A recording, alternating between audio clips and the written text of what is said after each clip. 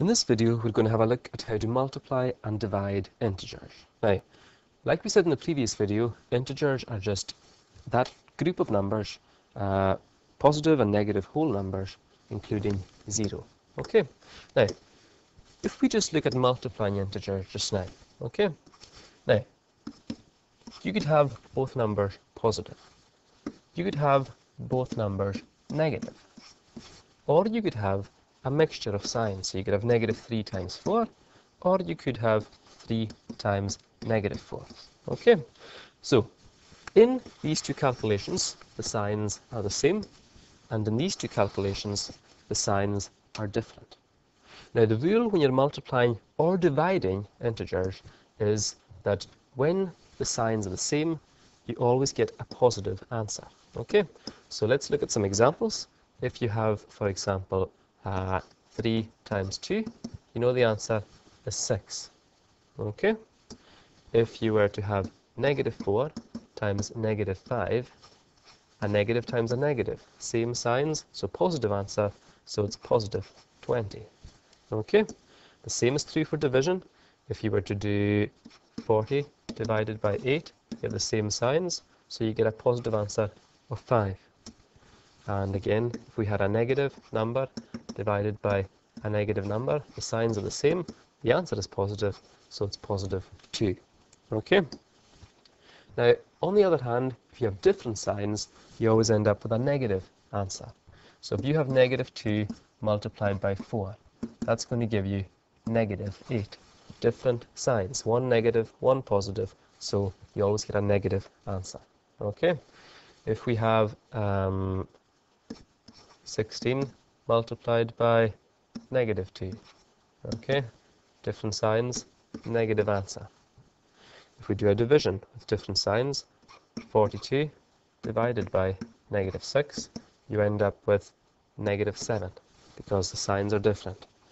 And also, if we do negative 14 divided by positive 7, different signs, negative answer, so you'd get negative 2.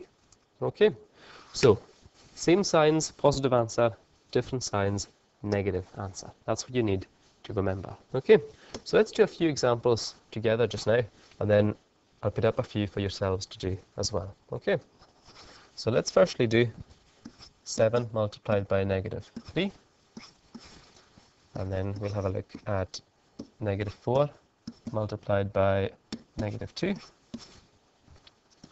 Then we'll have a look at negative 8 multiplied by 7. Okay? Now, you know 7 threes are 21, so you know your answer is going to contain 21, but the signs here are different, so it's negative 21. Here, you know 4 twos are 8, the signs are the same, so it's positive 8. Okay?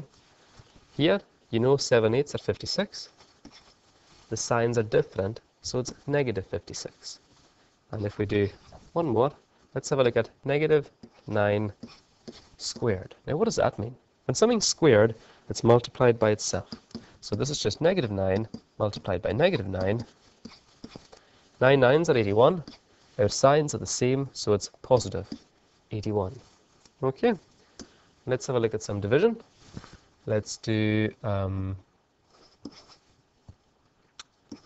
20 divided by negative 5. Let's do negative 72 divided by negative 8. And let's do negative 14 divided by negative 2. Okay, now 20 divided by 5 is 4, but here the signs are different. Positive, negative, so negative answer.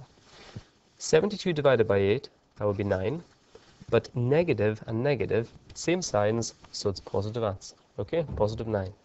And here again, same signs, positive answer, 14 divided by 2 is 7. Okay, now, I'm going to put up a few questions for yourselves to try. So you can pause your video once they're all up, and then you can have a bash yourselves and see how you get on. Okay, so 4 times negative 3 is your first one. Then we'll do negative 7 times 6. Then we'll do negative 2 all squared. And we'll do negative 25 multiplied by negative 3. Okay. And we'll do a few divisions.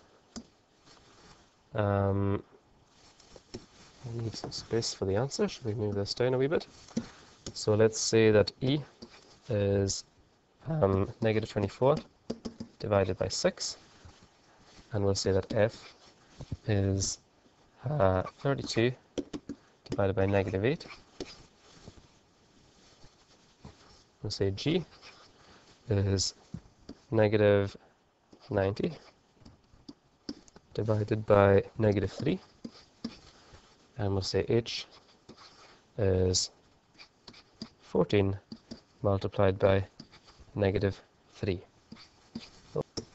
and we'll say i is 4 we'll say negative 4 multiplied by negative 3 multiplied by 2 okay?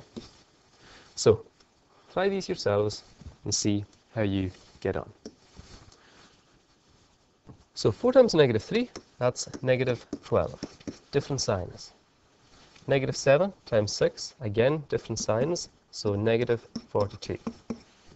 This is negative 2 times negative 2, so the signs are the same, so it's positive 4. For D, the signs again are the same, so this is positive 75. Here, the signs are different. 24 divided by 6, negative 24 divided by 6 is negative 4. Here, the signs are different again, so it's negative 4. Here, the signs are the same, so it's positive 30. Here, the signs are different, so it's negative 42. And lastly, we have three integers, all being multiplied together. You just deal with them two at a time. Deal with this first of all. Negative 4 times negative 3. That's going to be positive 12. Now you then have to multiply that by 2.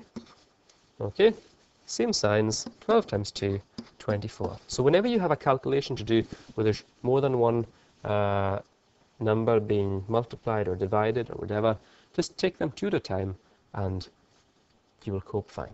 Okay, so that's how you multiply and divide integers and I hope that that uh, was helpful.